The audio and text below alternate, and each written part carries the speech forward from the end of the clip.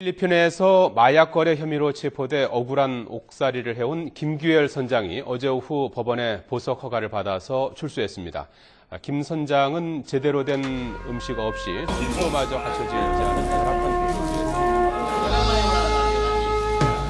곳이었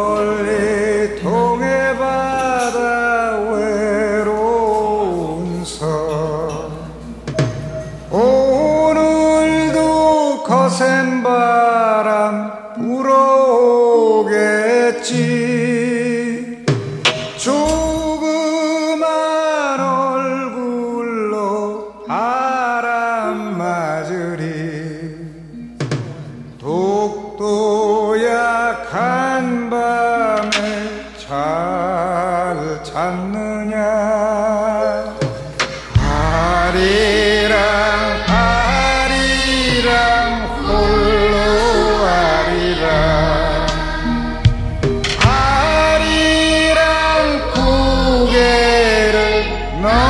가 보자. 가다가 힘들면 쉬어가더라도 손잡고 가보자. 같이 가보자.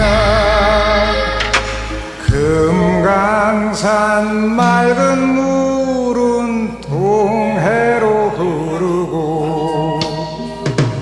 Oh.